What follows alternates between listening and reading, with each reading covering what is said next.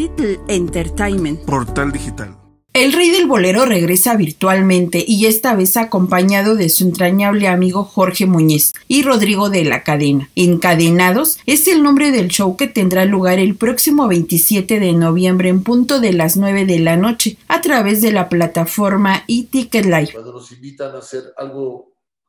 para este mes, eh, platicando con Carlos, comentamos de, Rodrigo de la Cadena, que Rodrigo es un muchacho eh, muy joven, pero con un talento fuera de serie y no solamente es un gran artista, sino que también es un conocedor por gusto y porque así decidió él de la música latina, de todas las generaciones, estoy hablando desde los primeros años de, quizás hasta de 1920, 30,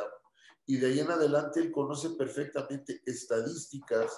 personajes, eh, los, grandes eventos musicales que han ido recorriendo eh, la música latina, eh, el mundo. Tres voces, un piano y mucha bohemia reunida en una noche es lo que nos espera interpretando temas de grandes compositores como José Alfredo Jiménez, Armando Manzanero, entre otros, dándole un nuevo matiz a los streaming ya presentados. Tres voces y cada quien,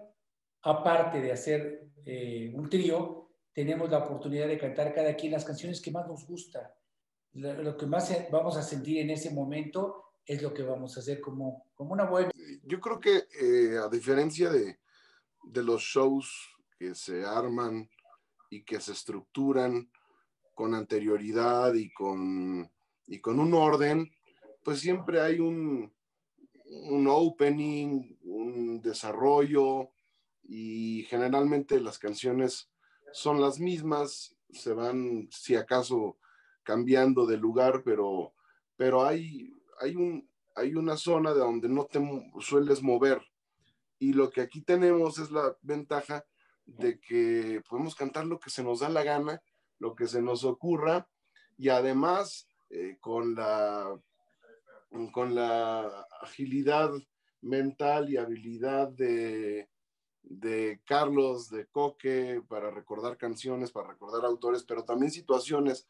pues eso nos permite eh, hacerlo en ese mismo momento de, improvisado, pero en, en, esta, en, esta, en este imprevisto sale la, eh, sale la pasión, ¿no? Y se desborda también Desde un escenario impregnado de romanticismo e intimidad entre los intérpretes y el público, volverás a sentir esa mezcla de sentimientos que te dejó ese amor o bien un desamor. Síguenos en nuestras plataformas digitales, dale like a nuestra fanpage, también contáctanos en Instagram y Twitter y suscríbete al canal de YouTube.